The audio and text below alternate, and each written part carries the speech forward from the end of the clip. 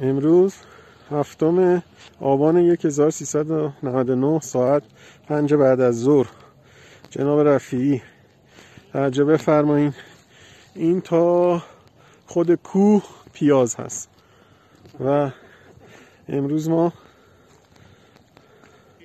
اومدیم حسن زحمتش کشیده اومدیم مستقیم بالا سر خود بار. اما توجه کنید که اگر این پیاز رو بگیریم به هر حال به هر حال این احتیاج به یه سورت مجدد داره. پس بنابراین توی قیمت پایانیتون تاثیر می‌ذاره. الان هم خود پیاز قیمتش بالا رفته. ببینید من هر چقدر که بخوایم